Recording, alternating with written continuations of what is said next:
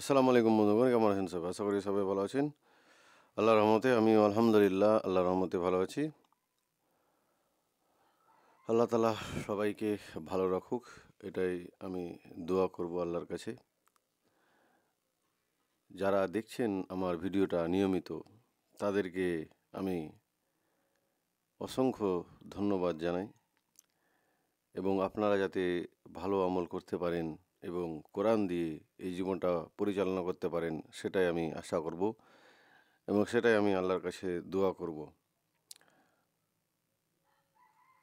আর আল্লাহ তালা আমাদের এই জীবনটাকে যাতে করে কোরআন দিয়ে আমরা পরিচালনা করতে পারি এবং এই পরীক্ষার জীবনটাই সফল হতে পারি এবং সমস্ত আল্লাহ তালা যা আমাদের পরীক্ষা নেবেন যেখানে পরীক্ষা নিক না কেন আমাদের, যে বিষয়ে পরীক্ষা নিক না কেন আমাদের, আমরা যাতে পাশ করতে পারি বা আমরা যাতে সেই পরীক্ষায় পেরে উঠতে পারি বা সফল হতে পারি সেটাই আমি দোয়া করব আল্লাহর কাছে। যে আমরা সবাই যেন আল্লাহর সেই রহমতের ছায়ার তলে আশ্রয় পায়। কেয়ামতের মাঠে যেদিন প্রত্যেকটা মানুষের হিসাব কিতাব আল্লাহ নেবেন। প্রত্যেকটা বিষয়ের হিসাব আল্লাহ তালা নেবেন। এমনকি আপনার যদি কোনো কাজ, কোনো গুনাহ, একটা বালুর দানা বা ঝাররা বলা হয়েছে কোরআনের মধ্যে, যদি বালুর দানার সমপরিমাণ হয়, তাহলে আল্লাহ তালা সেই গুনাহ, সেই কাজটাকে আপনার সামনে তুলে ধরবেন এবং সেটার হিসাব আপনাকে দিতে হবে। এটাই আল্লাহ তালার নিয়ম, এটাই আল্লাহ তালার বিধান।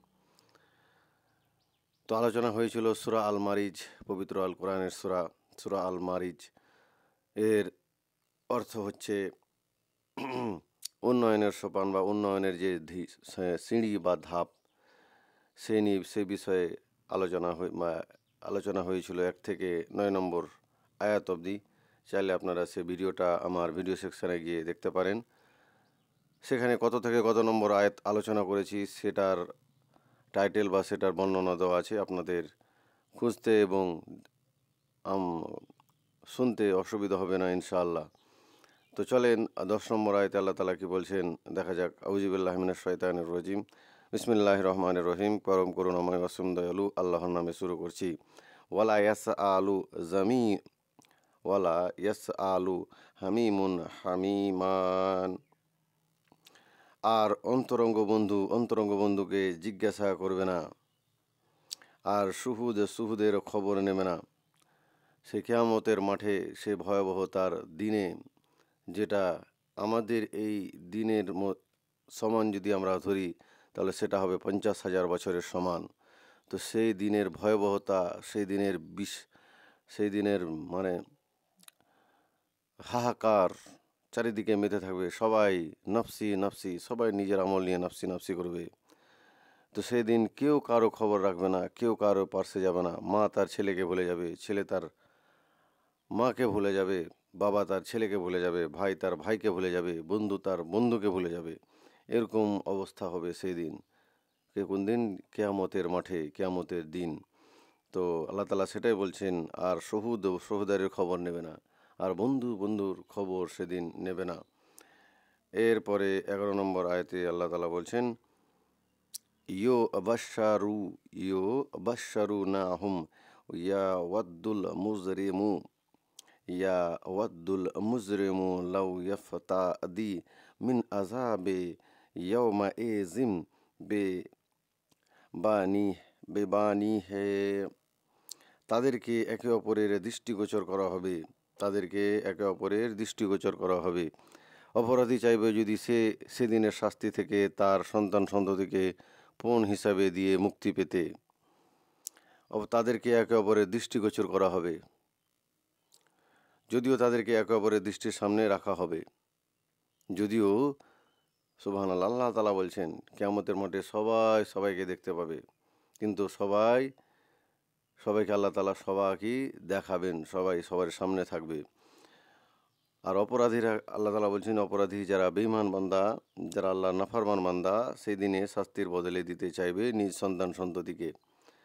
তো সেই দিন তারা শাস্তির বদলে বা যদি তার জাহান্নামের সে টিকিট পেয়ে নেয় বা জাহান্নামে তার ফেসলা হয়ে যায়, তখন সে তার শাস্তির বদলে কি চাইবে?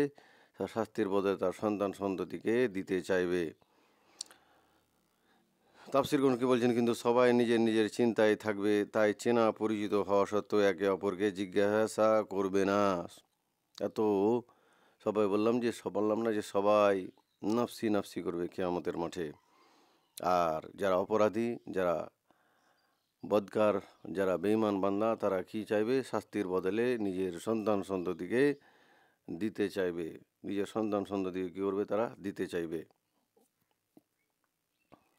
এরপরে বারো নম্বর আয়াতে আল্লাহ তালা বলছেন, ওয়া সাহেবা ওয়া সাহেবা তেহি ওয়া আখি হে ওয়া সাহেবা তেহি ওয়া আখি হে তার, আর তার স্ত্রী ও ভাইকে। তো যারা অপরাধী, তারা কি করবে? যারা এই পৃথিবীতে ফসাদ, এই পৃথিবীতে অন্যের হক মেরে খেয়েছে, নামাজ রোজা করেনি, আল্লাহর শরীয়তের কোনো ধার সে ধারেনি বা শরীয়ত মোতাবিক সে তার জীবন তো দূরের কথা শরীয়তের সে সও শিখেনি। তো সেই কেয়ামতের মাঠে কি করবে? তার ভাইকে বা তার সন্তান সন্ততিকে কি করবে? তার যদি শাস্তি হয়, তার যদি জাহান্নামের টিকিট সে পেয়ে নেয় বাম হাতে, তো তার সেই শাস্তির বদলে সে তার সন্তান সন্ততিকে দিতে চাইবে। আমার পরিবর্তে আমার সন্তান সন্ততিকে ভরে দেন। এত ভয়াবহ হবে। আর কি তার স্ত্রী ও ভাইকে? তার স্ত্রীকে দিতে চাইবে এবং তার ভাইকেও দিতে চাইবে।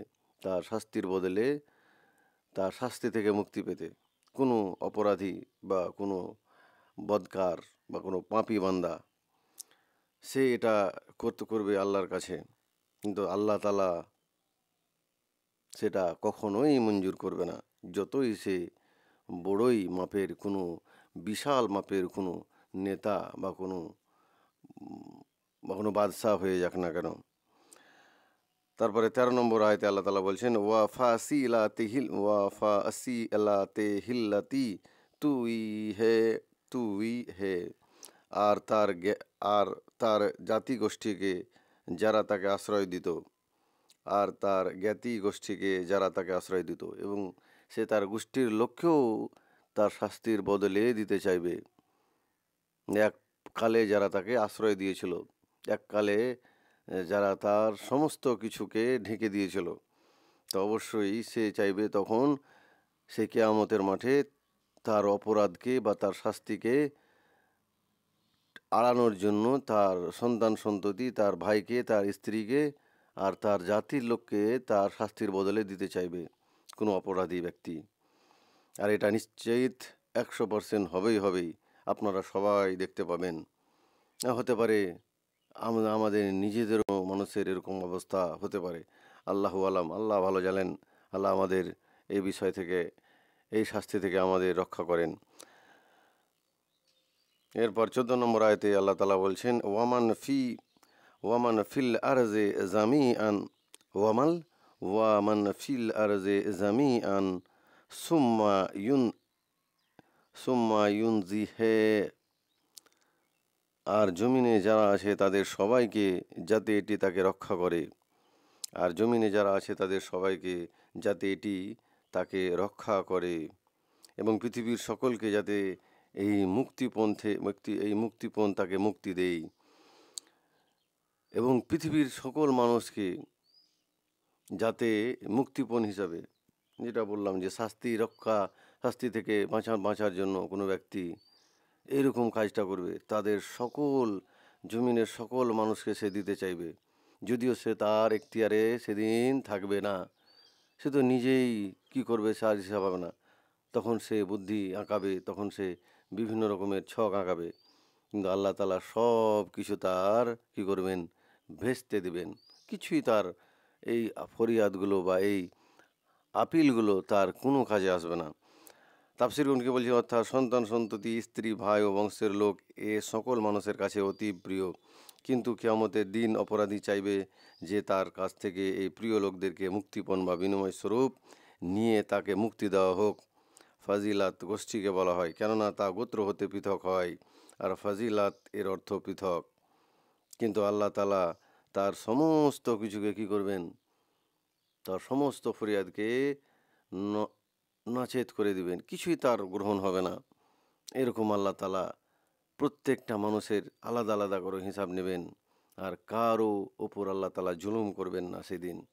যদি আপনি কারও হক মেরে থাকেন, যদি আপনি কারও কোনো জিনিস ছিনিয়ে থাকেন, জবরদস্তি করে এই পৃথিবীর মধ্যে, তাহলে আপনাকে সেদিন হিসাব দিতে হবে। সেটা ভাই হোক, সেটা বন্ধু হোক, সেটা আপনার স্ত্রীও হোক, সেটা আপনার সন্তান সন্ততি হোক না কেন, আপনাকে প্রত্যেকটা জিনিসের হিসাব সেদিন দিতে হবে। আর আপনি কাউকেও চাইলে আপনার পরিবর্তে, আপনার নিজের পরিবর্তে কাউকে দিতে পারবেন না। এটাই আল্লাহ তালার বিধান, এটাই আল্লাহ তালার কানুন। প্রত্যেকটা মানুষকে তার নিজের কর্মের হিসাব দিতে হবে। আর নিজের কর্মের শাস্তি তাকে নিজেই পেতে হবে। আর এর পরিবর্তেতে সে কাউকে দিতে পারবে না। আল্লাহ আমাদের বুঝার এবং আমল করার তৌফিক দিক। সকলে বলুন, আমিন। ভালো কিছু শেয়ার করেন, ভালো কিছু দেখেন, আপনার আমলে ভালো কিছু জুটবে। খারাপ কিছু দেখবেন, খারাপ কিছু শেয়ার করবেন, আপনার আমলে খারাপ বা গুনাহাযুক্ত হবে। তো যাই হোক, ভিডিওটা আর বাড়াচ্ছি না। ভিডিওটা ভালো লাগলে আপনারা অবশ্যই অবশ্যই যদি ইউটিউবে দেখে থাকেন, তাহলে আমার চ্যানেলটাকে সাবস্ক্রাইব করে নেবেন। ফেসবুকে দেখে থাকেন চ্যানেলটা ফলো করবেন। আর ঘন্টাটা দেবে রাখবেন এরকম আগে, সবার আগে এরকম ভিডিও পাওয়ার জন্য, এই কোরআনের হাদিসের আলোকে ভিডিও নেওয়ার জন্য। আসসালামু আলাইকুম রহমতুল্লাহি ওবরকাতহু